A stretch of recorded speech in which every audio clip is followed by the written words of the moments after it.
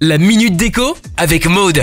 Bonjour à toutes et tous. Les tendances pour les mariages, eh bien, elles dépendent du style de chacun. Les mariés ont leur vision des choses. Ils savent déjà ce qu'ils veulent comme thème.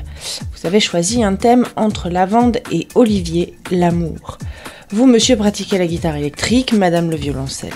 La musique est là. Je vais vous dépeindre le tableau. Vous avez la possibilité de faire le vin d'honneur et le repas en extérieur. Le vin d'honneur, des manches debout, chacun s'installe où bon lui semble. Quelques tables basses et des canapés d'extérieur pour les plus âgés. Des jeux pour les enfants, le chamboule tout, des bulles, des toboggans gonflables et autres. Des petits cadeaux pour les invités comme des spécialités régionales pour les gourmands, des savons, un candy bar, etc. Pour la salle de réception, chacun se laissera guider par un paravent et sévinit le plan de table. Et si le temps est au beau fixe et que l'extérieur se prête aussi à la réception, des tables à thème en plaçant un instrument de musique à côté de chaque table. Ce sera aux invités de reconnaître l'instrument pour trouver leur table. C'est ludique et parfait pour faire découvrir votre monde de la musique.